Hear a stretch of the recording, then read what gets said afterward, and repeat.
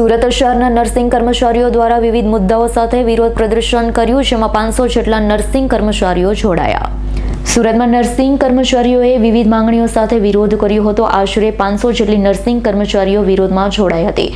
સુરત મહાનગરપાલિકા દ્વારા સંચાલિત સ્મીમેર હોસ્પિટલ અને મસ્કદી હોસ્પિટલ તેમજ અન્ય આરોગ્ય કેન્દ્રના તમામ નર્સિંગ કર્મચારીઓ વિરોધમાં જોડાયા હતા.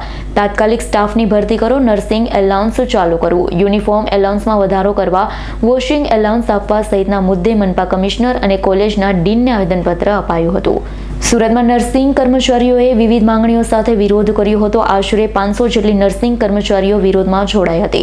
સુરત મહાનગરપાલિકા દ્વારા સંચાલિત સ્મીમેર હોસ્પિટલ અને મસ્કદી હોસ્પિટલ તેમજ અન્ય આરોગ્ય કેન્દ્રના તમામ નર્સિંગ કર્મચારીઓ વિરોધમાં જોડાયા હતા.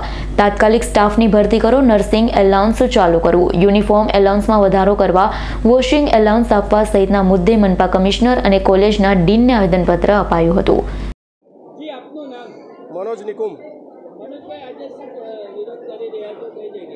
અમારો મુખ્ય મુદ્દો એ છે કે નર્સિંગ સ્ટાફની વહેલીમાં વહેલી તકે ભરતી થવું જોઈએ. નર્સિંગ એલાઉન્સની જે માંગણીઓ છે અમારી ઘણા વખતથી એ અમારી સંતોષ આવી જોઈએ અને સમયસરમાં અમારી બધી માંગણીઓ પૂરી થઈ જાય એ જ અમારો મેઇન મુદ્દો છે.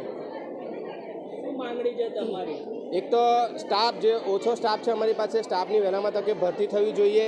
તમને બધાને ખબર હશે કે કોરોના દરમિયાન પણ નર્સિંગ સ્ટાફ એક નિસ્વાર્થપણે દર્દીઓની કોરોનામાં સેવા કરેલી છે અને હાલમાં પણ સેવા કરી રહ્યો છે. એ એક સ્ટાફ ત્રીસ ત્રીસ ચાલીસ ચાલીસ પેશન્ટ વચ્ચે કામ કરી રહ્યો છે.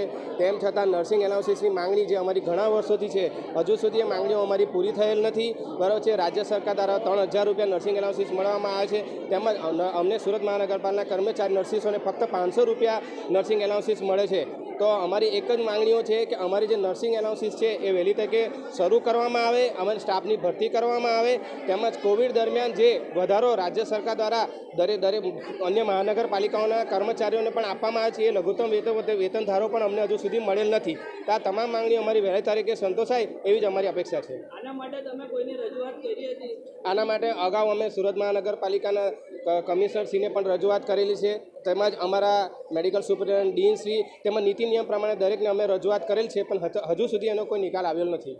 જો અગર તમારો નિકાલ નહીં આવશે તો તમે શું કરશો? અમે જો અમારો નિકાલ નહીં આવે તો અમારી અમે આગળ, આગળની જે રજૂઆતો છે, તે અમે અમારા ઉપરી અધિકારી થ્રુ સુરત મહાનગરપાલિકા કમિશનને કરીશું અમે. Bureau report S nine news Surat.